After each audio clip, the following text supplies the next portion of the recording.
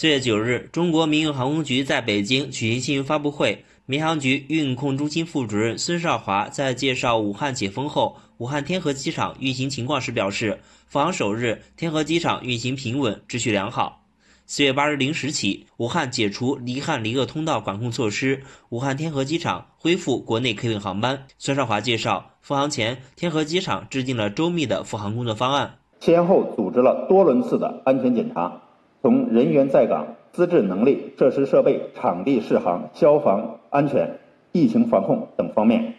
对标检查整治，对机场公共区域实施彻底消杀，组织开展了旅客疫情防控、防止境外疫情输入等预案演练。八日上午七时二十五分，首架飞往三亚出港航班东航 MU 二五二七航班起飞，标志着武汉天河机场商业客运航班在暂停七十六天后正式复航。复航首日，呃，武汉机场整体运行平稳，机场的运行秩序良好。全天共保障进出港航班有二百二十一班，航班放行正常率达到了百分之九十九点零一，共保障了一万一千七百一十四人次旅客的安全出行。其中，离汉航班有一百零七班，旅客七千一百一十九人次；抵汉航班有一百一十四班，旅客有四千五百九十五人次。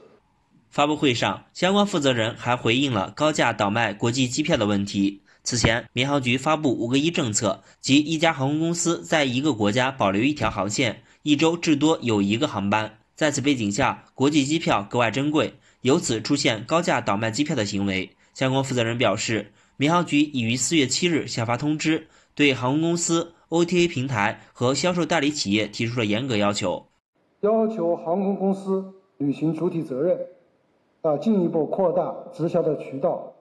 啊，这个严格执行国际运价政策，啊，落实明码标价的规定，及时、准确、全面的公布国际运价水平和适用条件，